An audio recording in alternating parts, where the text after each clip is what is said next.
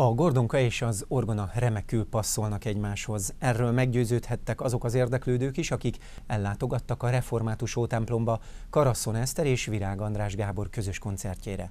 A lélekemelő hangverseny a Protestáns zenei kincsek a Magyar Reformációban című országos programsorozat keretében valósult meg. Jövőre lesz a reformáció 500. évfordulója, és ennek előfutára egy 14 alkalomból álló koncertsorozat, amelynek egyik állomása vasárnap este a Hódmezővásárhelyi Református Ótemplomban volt. Karaszton Eszter Gortonka művész és Virág András Gábor orgona művész adtak koncertet.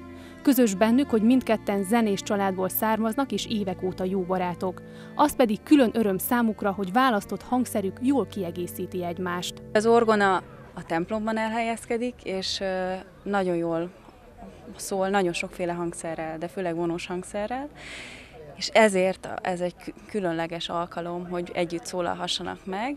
Ugye a koncerttermekben ritkán tudunk ilyet ugyanis nincsen a legtöbb koncertteremben orgona, viszont rengeteg olyan régi mestermű van, ami kifejezetten csellóra és orgonára van írva, és nagy öröm, hogy ezt ketten el tudjuk játszani. A koncert repertoárját három nagy korszakra lehetett bontani. Először a romantika korából származó művek csendültek fel, melyeket a barokra jellemző hangzásvilág követett, de kortás szerző darabja is bekerült a műsorba. Mendelssohn, Vivaldi, Bach, valamint Gárdonyi Zsolt után azonban a rögtönzés is helyet kapott.